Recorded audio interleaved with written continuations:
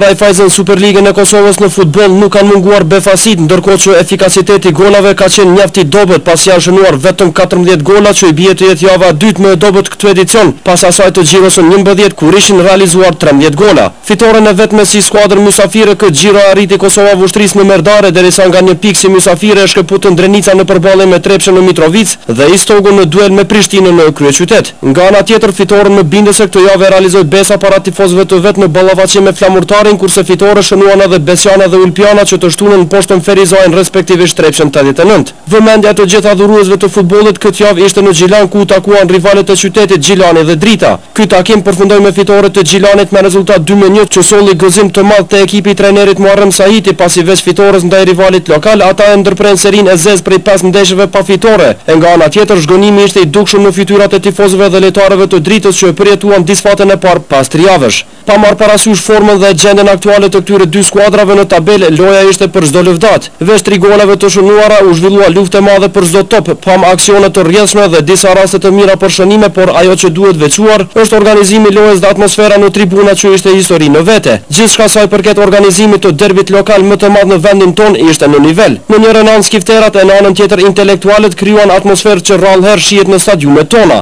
Dëshmitarë të këtij ambienti ishin shumë shikues, dashamirë të futbollit si dhe mysafirë të shumtë, në mesin e të cilëve ishin edhe disa zyrtarë nga Federata Suedeze e Futbollit, të cilët më në fund kanë pasur çka të shohin nga futbolli ynë. Ndeshje të tilla e veçmas atmosfera të ngjashme i duhen edhe më shumë futbollit tonë që këtë edicion shihet se e ka një përparim të dukshëm. Çdo lëvdatë tifozëve të këtyre dy ekipeve që tashmë i kanë dhënë një bukuri tjetër futbollit në vendin tonë, derisa një atmosferë e tillë e ndoshta edhe më e madhe pritet të ndodhë në vikendin që po vjen pasi në Gjakovë do të përballen aktualisht dy ekipet më të mira në vend, fituesi i Kupës së Republikës së Kosovës Vllaznimi dhe kampioni e skuadra lidere në tabelë Prishtina. Të gjithë me padurim e presin këtë ndeshje e cila do të zhvillohet të dielën në stadiumin e qytetit në Gjakovë.